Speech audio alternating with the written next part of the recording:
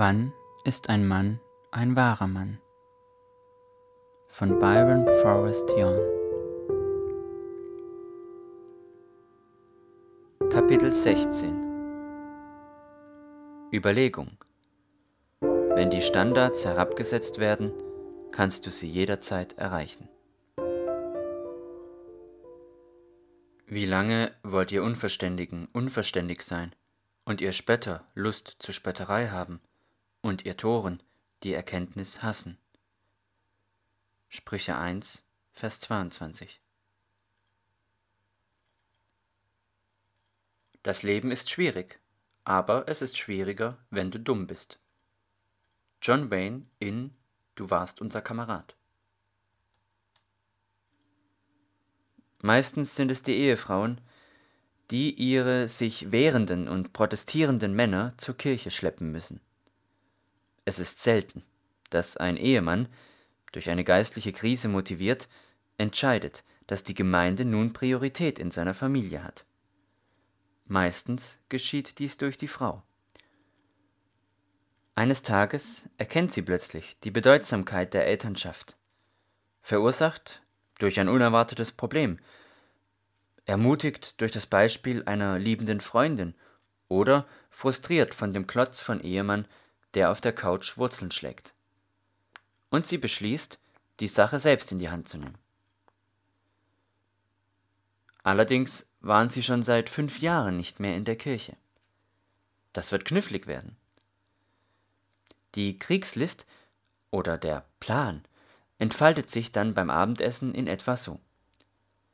Die Frau wartet, bis der erste Bissen im Mund des Mannes ist. Natürlich sein Lieblingsessen, ohne Zweifel und dann wirft sie den Haken aus. Weißt du, Liebling, ich habe mir überlegt, ich würde gerne die Kirche am Ende der Straße besuchen. Ich habe gehört, dort sind alle so freundlich. Meine Freundin Jane geht auch dahin. Sie haben ein sehr gutes Kinderprogramm. Die Kinder könnten dort sehr gut gefördert werden. Was meinst du? Sollen wir es diesen Sonntag mal versuchen? Was sie wirklich meint, ist, ich bin geistlich nicht ausgefüllt, einsam, warte knietief im Leben, ausgelaugt von drei Kindern und den ständigen Folgen von die Hinterhofzwerge. Der Ehemann schaut von seinem Teller auf, der von seinem Ellbogen auf Position 9 und 3 Uhr eingerahmt ist. Er ist vollkommen unvorbereitet. Sein Gesichtsausdruck deutet irgendetwas zwischen Schrecken und Humor an. Er spottet. Was? Sicher. Wie auch immer. Haben Sie einen Frühgottesdienst? Mittags findet das Spiel statt. Ich muss doch keine Krawatte tragen, oder? Was er wirklich meint, ist Was? Jetzt? Das geht vorbei. Wird es nicht. Lippensynchron mit den Klassikern. Am folgenden Sonntag sind sie leicht auszumachen. Sie gibt mit einem freudigen Lächeln im Gesicht auf dem Weg zu ihrem Platz fremden Leuten die Hand zur Begrüßung. Schau, all die Erwachsenen! Die offenherzige Kinderversorgung lässt sie sentimental werden. Er sitzt dort mit verschränkten Armen und fühlt sich vollkommen fehl am Platz. Ich könnte laut loslachen, wenn er singt. Absolut die schlechteste Lippensynchro, die du je gesehen hast. Während der Predigt vermeidet er jeden Augenkontakt mit dem Prediger, als wäre er ein Achtjähriger, der von den Eltern belehrt wird. Der Pastor klingt herablassend. Das heißt, er redet von oben herab. Wenn es dann vorbei ist, merkt er, dass mitten in der Reihe zu sitzen ein taktischer Fehler, das heißt Stratagema, war. Er wird auf dem Weg nach draußen mit noch mehr Fremden reden müssen. Diese Verzögerung vereitelt es, den Anfang der Show vor dem Spiel mit den coolen hologrammartigen Bildern mitzuerleben. Sie ist begeistert. Die Bibel wurde ausgelegt und angewandt. Sie hat nicht alles verstanden, weiß aber, dass es nötig wäre. Die Leute waren aufrichtig. Sie ist sich nicht ganz sicher, aber sie meint gesehen zu haben, dass erwachsene Männer mit ihren Frauen und Familien an der Seite am Gottesdienst teilgenommen haben. Zum ersten Mal erkennt sie, was fehlt. Gott. Auf der Heimfahrt ist die heikle Unterhaltung zwischen Mutter und Kindern das Tüpfelchen auf dem i. Mama, es war toll. Ich durfte mit einer Schere schneiden. Und wusstest du, dass es gar keine sprechenden Gurken in der Bibel gibt? Können wir nächsten Sonntag wiederkommen? Zufriedene Kinder. Nach dem Mittagessen sitzt sie bei ihm auf der Couch und fragt. Was denkst du, Liebling? Es war doch nicht schlecht, oder? Der Mann weiß, dass er überrumpelt wurde. Er antwortet, es war gut, aber der Prediger benutzte große Worte.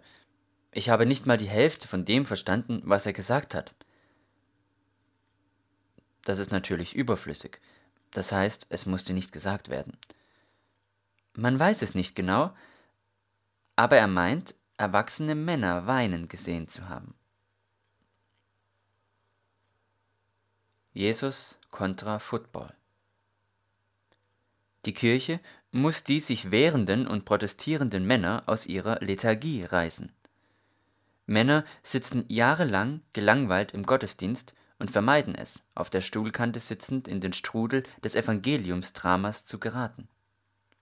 Für die meisten Männer erscheint die Vorstellung unmöglich, Jesus könnte aufregender als Football sein.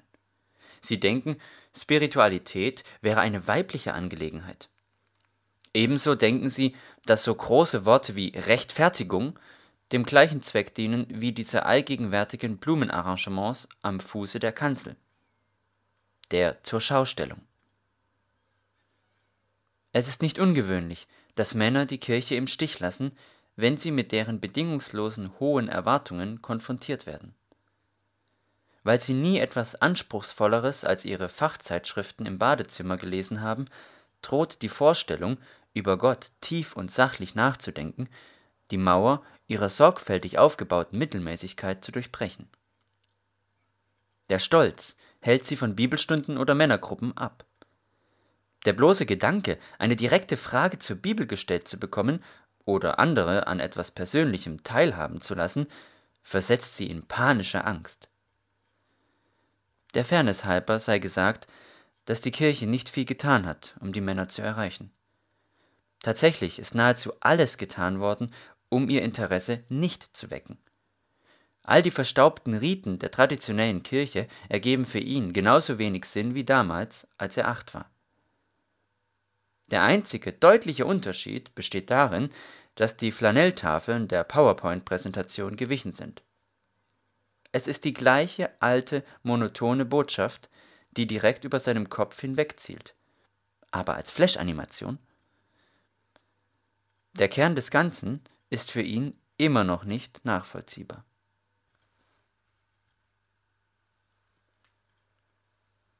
Die Gefahr der tief hängenden Früchte. Viele haben die Misere erkannt und die Botschaft auf den kleinsten gemeinsamen Nenner angepasst. Aber auch die tiefhängende Frucht des relevanten Predigens sowie Bücher in Unmengen haben die Männer nicht weitergebracht. Diese Aktionen hatten den gegenteiligen Effekt. Hier ist eine Anmerkung für Kirchen und Verlage. Wenn die Standards herabgesetzt werden, kann der Mann sie jederzeit erreichen.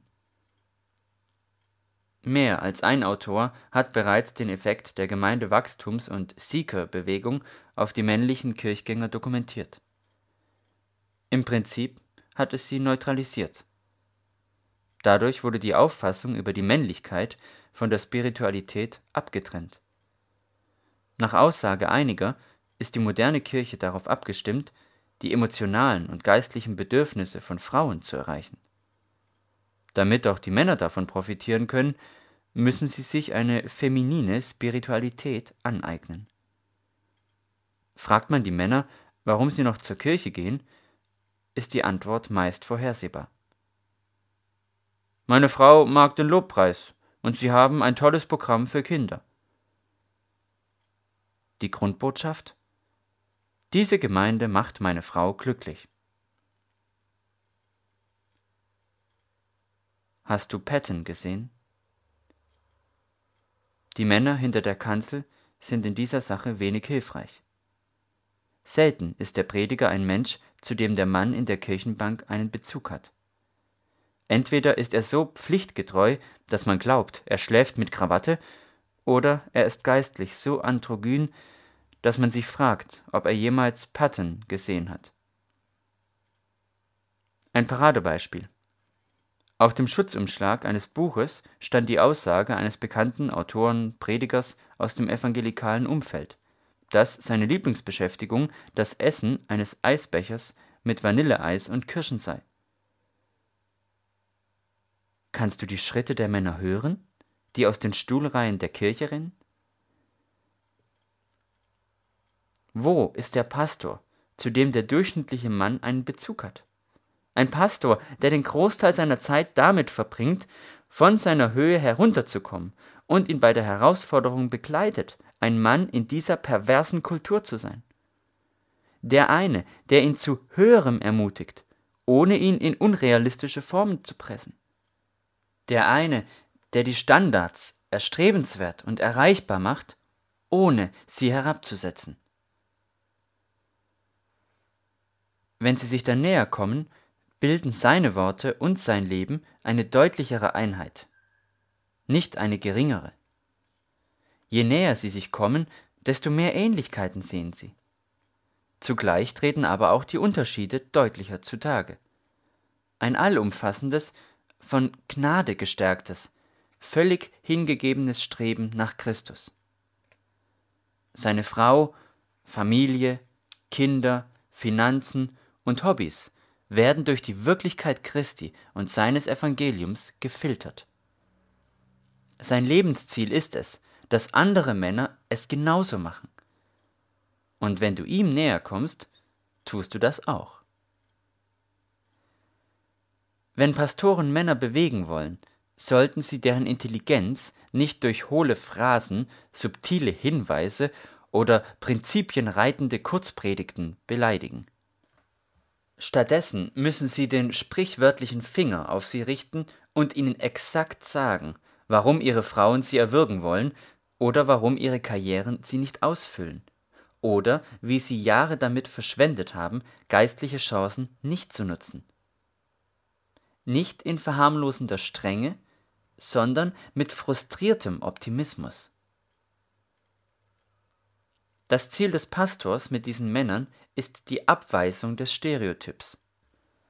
Männer werden immer den Pastor respektieren, der nicht jedes Wort abwägt, der sich nicht fürchtet, große Worte zu benutzen und Lexika verteilt, während er sie zu immer größeren Höhen führt. Dass immer weniger Gemeinden diese direkte Art der Herausforderung für Männer anbieten, liegt vielleicht daran, weil wir ebenfalls dieses kulturelle Stereotyp akzeptiert haben. Männer sind gedankenlos und begriffsstutzig. Wir können nicht allzu viel von ihnen erwarten, also fragen wir sie erst gar nicht. Aber das ist ein Fehler. Ich habe es jetzt schon so oft erlebt, dass Männer die Herausforderung angenommen und die Erwartungen lügend gestraft haben. Erstaunlicherweise ist dies in keinem einzigen Fall geschehen, weil es ihnen jemand leicht gemacht hätte. Letzten Endes geschieht es aus Gottes Gnade.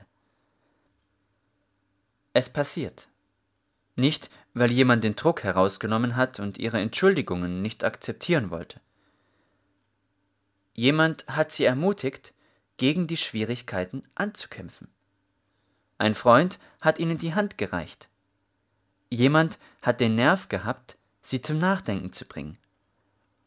Sie gaben ihnen Calvin, Edwards, Ryle, Warfield und ein Dutzend anderer toter Denker an die Hand. Ihr Hirn platzte förmlich, als sie versuchten, das alles zu verstehen. Aber sie bereuten ihren Stolz, gaben ihre Ignoranz zu und brachen durch zur Klarheit. Raskolnikow und die Fähigkeit zu denken. Vor vielen Jahren Als ich gerade begann, mein Hirn aus seinem Schlummer zu wecken, ermutigte mich ein Freund, Dostojewskis Schuld und Sühne zu lesen. Er hat es mir nicht gegeben und gesagt, lies es. Es war raffinierter.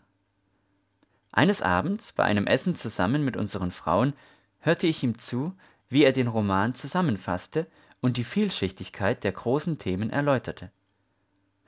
Unabsichtlich ließ er seine Fähigkeiten spielen, betrachten und analysieren zu können, was mich auf sonderbare Art neidisch machte. Tatsächlich wollte ich auch denken. Die Freude, die er in so großer Tiefe durch die Beschäftigung mit einem so vielschichtigen Thema erfahren hatte, war mir unbekannt. Er beschrieb das Buch als den größten und spannendsten Kriminalroman aller Zeiten. Ohne das Ende zu verraten, beschrieb er uns die Haupthandlung und den Hintergrund. Ich war an der Angel. Ich kaufte es. Erst da sah ich, dass dieses Meisterstück 800 Seiten hatte. Unnötig zu sagen, dass Spannung nicht seine Haupteigenschaft war. Erst nach mehreren Tagen konnte ich Raskolnikows Namen richtig lesen. Aber ich blieb dran. Mein Freund hatte recht. Als ich am Ende angelangt war, saß ich auf der Stuhlkante. Das Gelesene hatte mich über meine Grenzen hinaus gefordert. Es zwang mich, hinter das Offensichtliche zu schauen, hin zu den wesentlicheren Themen dieses literarischen Genies. Kurzum, es brachte mich zum Denken. Meine mentalen Fähigkeiten auf diese Weise auszudehnen, war eine unschätzbare Erfahrung. Als ich an jenem Abend meinem Freund zuhörte, lernte ich mehr über mich selbst als über die russische Literatur. Ich war oberflächlich. Ich lebte nach den niedrigen Standards der Männer dieser Kultur. Das war ein echt tragischer Ort, an dem ich mich als Christ wiederfand. So viel hängt von der Qualität der Liebe eines Mannes zu Gott ab. So viel von seiner Liebe zu Gott beginnt in seinem Kopf. Als ich zu Christus kam, hatte ein sehr gläubiger Mann, durch Gottes Gnade, Interesse an mir gezeigt. Er war mein erster Pastor. Trotz Hunderter von anderen, für die er sorgen musste, schloss er mich in seine Verpflichtungen mit ein. Er kannte die Bedeutung von Männern für die Gemeinde. Ich erinnere mich an unser erstes Treffen, als wäre es gestern gewesen. Es war in seinem Büro. Wir beteten und dann, mit wenig oder ganz ohne Erklärung, als wäre die Zeit wesentlich, nahm er eine Taschenbuchausgabe des Neuen Testaments aus seinem Regal. Er gab es mir und sagte, Okay, es gibt ein altes Testament und ein neues Testament. Das war der Beginn vom Rest meiner Geschichte. Ich habe diese Bibel immer noch. Unvorstellbare Dinge entstehen durch Männer, die von Christus ergriffen sind. Männer, die anfangen, ihm nachzufolgen, mit Herz, Seele und Verstand. Dies verursacht eine Schockwelle von unerklärlichen Veränderungen und Segnungen. Ein Mann gewinnt das Vertrauen seiner Frau zurück, leitet schließlich seine Kinder an, kommt aus seiner Sackgasse heraus, erreicht seine Arbeitskollegen, erbaut die Gemeinde, inspiriert Freunde, ermutigt seinen Pastor und gewinnt sogar den Respekt seiner Schwiegermutter. Nun, vielleicht nicht den seiner Schwiegermutter, aber es ist nichtsdestotrotz überwältigend. Lebenslange Entwicklungen werden umgedreht und in die richtige Richtung geleitet. Ein Sprichwort besagt, es gehe nicht darum, ob du leitest, sondern wohin. Die Leiterschaft von Ehemännern und Vätern ist ein Naturgesetz der Seele. Gott hat es so bestimmt. Wenn der Ehemann und Vater Kanufahren liebt, geht die ganze Familie Kanufahren. Wenn der Vater das Zelten liebt, folgt die Familie seinem Beispiel. So sind die Dinge eben. Wenn der Ehemann entscheidet, dass es wichtigere Dinge gibt als Gott und die Familie, werden es die anderen genauso tun. Wenn das Herz des Mannes sich Gott zuwendet, wird die Familie ihm folgen. Auf dieser Ebene ist Leiterschaft gar nicht so kompliziert, wie wir sie immer darstellen. Es bedeutet, das, was wir lieben, denen kundzutun, die wir lieben. Wenn alltägliche Männer Feuer fangen.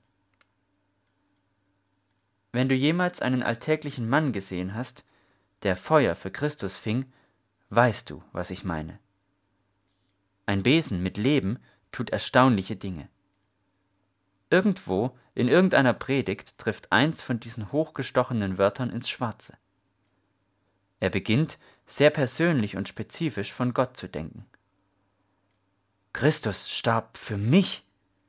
Ich bin ein Sünder. Gott schenkte mir seine Gnade. Ich liebe Christus. Christus ist mein Herr. Die theologischen Redensarten und Grundsätze, über die er einst die Nase rümpfte, bestimmen ihn jetzt. Hobbys werden zu Hobbys. Prioritäten werden zu Prioritäten. Eines Abends überschreitet dieser Kerl die Türschwelle zur Männerbibelstunde in der Kirche. Es gibt einen kurzen Augenblick erstaunten Schweigens unterbrochen von einer ausgestreckten Hand und einem freundlichen Hallo. Nicht länger abgehalten von seinem eigenen Stolz, setzt er sich hin und beginnt seine Reise tief hinein in die Randgebiete einer unendlich genialeren Realität als die Brüder Karamasow. Das Evangelium. Wie bei einem der Jünger auf dem Weg nach Emmaus wird sein Hirn überflutet von der Geschichte der Erlösung. So viel verschwendete Zeit. Er klettert unter dem Berg von Entschuldigungen hervor und geht direkt darauf zu. Sein Anblick am Sonntag ermutigt den Pastor. Seine Augen sind geschlossen. Sein Gesicht und sein Herz sind dem Himmel zugewandt. Er singt schief, aber er meint jedes Wort. Der Pastor sieht sich gedrängt, für diesen Mann zu beten schauen wir auf ein anderes Bild beim Abendessen. Eines Abends weint ein einst so stolzer Mann über seinem Teller. Seine Kinder sind verwundert. Das haben sie noch nie gesehen. Seine Frau, die seit Monaten für ihn betet, kapiert es und weint mit ihm. Sie greift nach seiner Hand. Sich sammelnd spricht er demütig die Worte Es tut mir leid, dass ich nicht der Ehemann und Vater war, der ich hätte sein sollen. Ihr seid mir sehr wertvolle Schätze. Gott hat mich verändert. Ich kann das nicht wirklich erklären. Es ist, als wären meine Augen geöffnet worden. Christus ist jetzt so real für mich. Ich liebe euch. Ich denke, wir sollten die Kirche unten an der Straße besuchen. Ich habe gehört, die haben ein tolles Kinderprogramm und er zieht seine Familie freudig und singend zur Kirche.